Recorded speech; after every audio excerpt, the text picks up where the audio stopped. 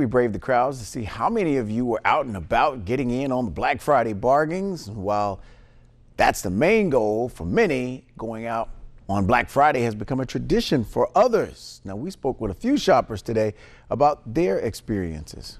Um, Every yeah. year. We come every year. Um, we're not like the 4 a.m. people, but we, we're usually out here around 7.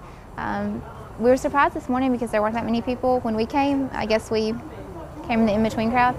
But um, yeah, we're here every year and we love it. It's fun. This is a tradition. Me and my girls, we go every year. Um, we just go from store to store. We sometimes we have a list and sometimes we don't.